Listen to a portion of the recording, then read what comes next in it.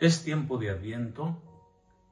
En este tiempo esperamos la venida de Jesucristo que nace y lo hacemos con mucha alegría porque es nuestro Dios quien viene a encontrarnos. Se nos invita de una manera muy especial a vivir con esperanza. El pasado domingo, primero de Adviento, la invitación era para que nuestra esperanza fuera vigilante, es decir, que no estemos dormidos, que estemos conscientes de lo que vivimos, que aprendamos a desear a Dios. De hecho, el deseo de Dios se convierte en oración, que aprendamos a soñar, porque cuando hay sueños en la vida se construye y nos ayudan a caminar con sentido y a construir este reino de amor al que nos invita Jesucristo.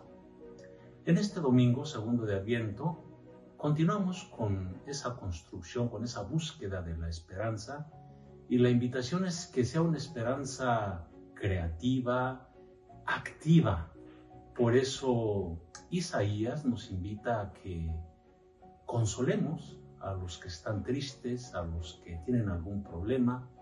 Y bueno, pues es una acción concreta que podemos realizar en nuestras vidas, fijarnos quién a nuestro alrededor tiene alguna dificultad, algún problema, está bajo de ánimo, le falta esperanza y que nos acerquemos con sensibilidad para escucharlo, para atenderlo, para entenderlo y que le ayudemos a, que entre en esta dinámica de vivir con alegría y con esperanza.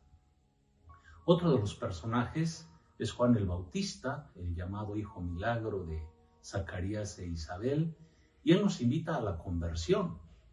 La conversión como un cambio de conducta, de modo de pensar en aquello que no nos ayuda a construir el amor, aquello que nos aleja del amor hay que quitarlo, hay que preparar el camino para el encuentro con Dios. Eh, ninguno podemos decir que lo tenemos todo bien hecho, bien realizado. Nadie puede decir que es don perfecto o doña toda sino que, bueno, estamos, llamados a, a tocar esa zona débil y a modificarla, como digo, en esta línea de construir el reino del amor de Dios, modificando eso que no nos ayuda, que, que no va en consonancia con el amor que es la eh, virtud fundamental para construir el reino de Dios. Cito a San Agustín porque él tiene una muy bonita frase sobre la esperanza eh, que dice así, miren cómo la esperanza nos amamanta, nos robustece y nos nutre y en esta vida difícil nos consuela.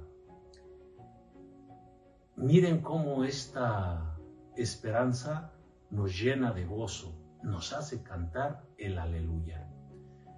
Es una especie de madre que efectivamente nos nutre, que nos llena de alegría y que además nos ayuda a orar.